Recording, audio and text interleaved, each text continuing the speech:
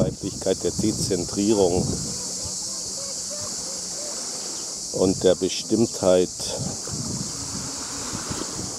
für die Veräußerlichung, für die Selbstveränderung in der Metonymie-Reihe der Körperersetzungen unter Dreingabe des eigenen Körpers.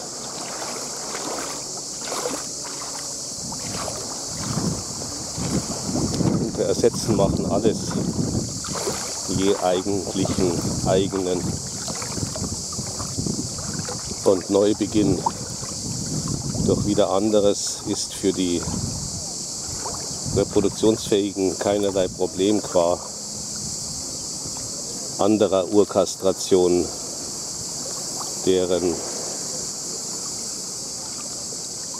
Überführung in das Nicht-Vorhandene dann dazu führt, den Prozess der Wiederauffüllung der Kathedralenschiffe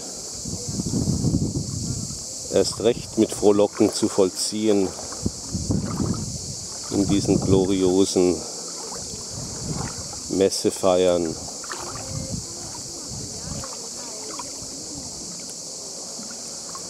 indem sie also den ewigen heraklitischen Transformierungs-, Ersetzungs-, Substitutions- und wieder Neuveranderungsvorgang aus den alten Resten. Akzeptieren, der nur entstehen kann als die großen Bewegtheiten, als die großen Emotivitäten,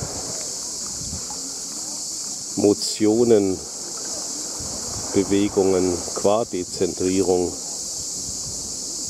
würde dieses ewige sich selbst authentisch finden können im aristophanischen Sinn, so wie das nur bei der Zygote stattfindet, gäbe es ja keine Spannung, keinen elektrischen Widerspruch, der dann zur Abführung in Form von Aktionismen führen könnte.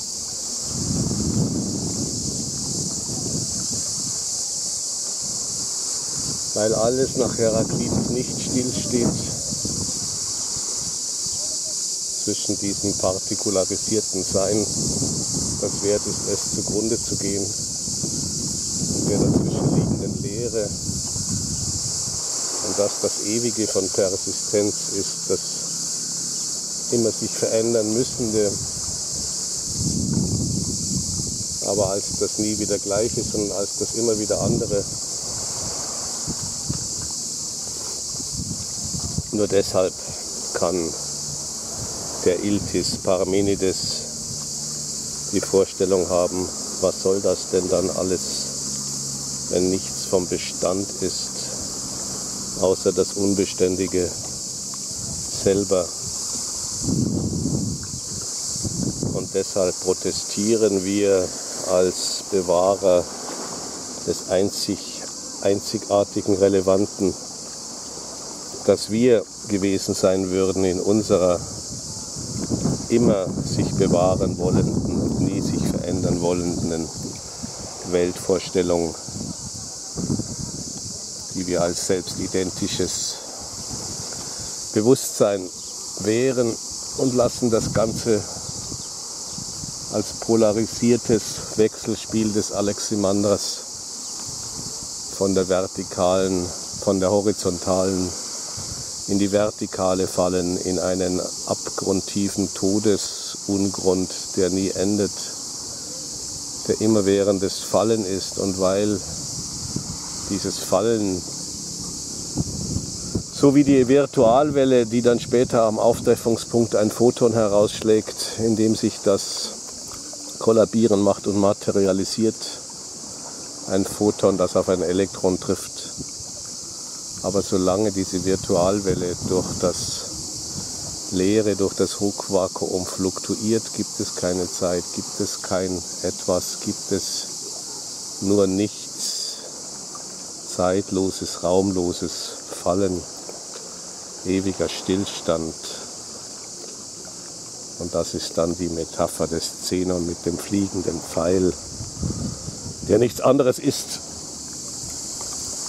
als das stillstehende Photon oder das stillstehende, noch nicht gewordene Photon in seiner Virtual-Energetik-Fluktuation. Denn selbst diese Energetik ist ja nur ein Interferenzmuster der Virtual, des Virtualenergiefelds mit seinen Höhen und Tiefen. Da hat sich ein Brett verklemmt. Nein, es wurde verklemmt als Aufstiegsmöglichkeit für die Klippenspringer von Acapulco.